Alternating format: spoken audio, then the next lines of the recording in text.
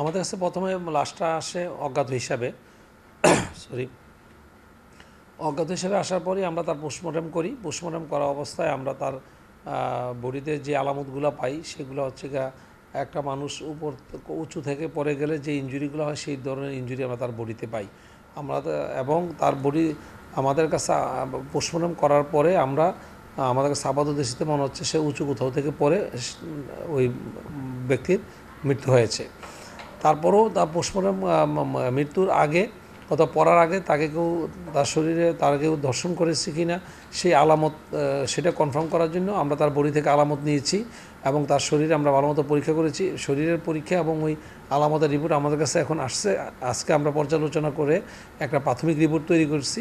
সেই প্রাথমিক রিপোর্টটা হচ্ছে সে উঁচু কোথাও থেকে পরে মারা গেছে এবং মারা মারা যাওয়ার আগে তার বডিতে আমরা দর্শনের কোনো আলামত পাইনি। সেটা হচ্ছে প্রাথমিক রিপোর্ট। তারপরেও আরও দুইটা রিপোর্ট বাকি আছে, সেই দুইটা রিপোর্ট পর্যালোচনা করে তখন আমরা চূড়ান্ত রিপোর্ট দিব।